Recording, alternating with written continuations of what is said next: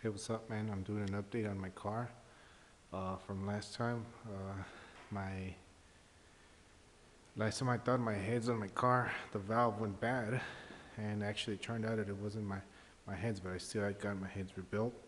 It was, uh, it was two of my injectors were bad, and it sounded like the valves were going bad.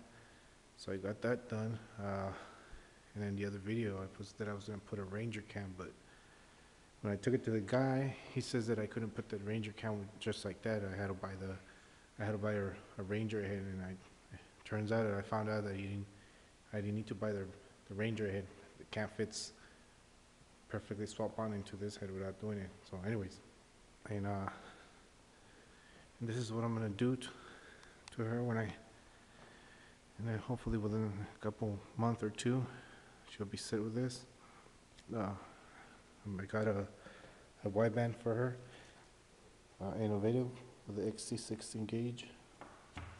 And, uh, for for, uh, I was gonna use a Stinger header, but, uh, I wanted, you know, like, my header to not crack or, you know, I heard the header, the Stinger header is pretty good, but, you know, I just wanted to have the stock connector for the, for the smog and everything, and the only difference is it's the same header the E6 with a little bit more airflow.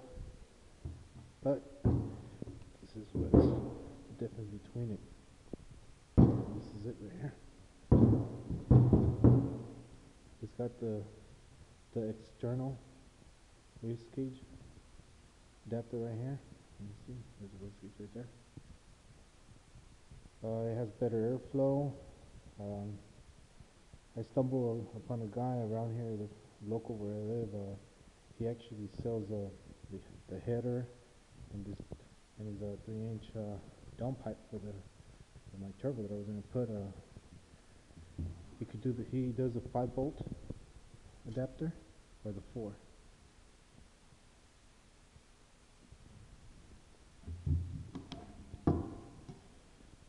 And he also did a when I did my intercooler he kind of took an idea of it and he made a he made almost a similar uh, intercooler kit but the only difference the other pipe is just a straighter in 90 degree pipe not like this one.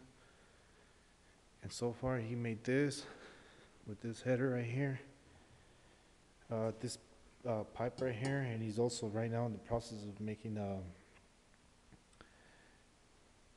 uh, the oil lines for, uh, for his, for the stock turbo applications, if you need the braided lines.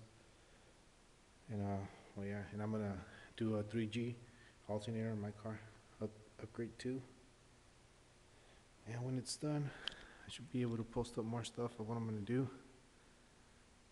And so far, that's what I got. If you guys need any information of, uh, of, of you getting the headers and, cause it has a, if you see, it has a small adapter to it too.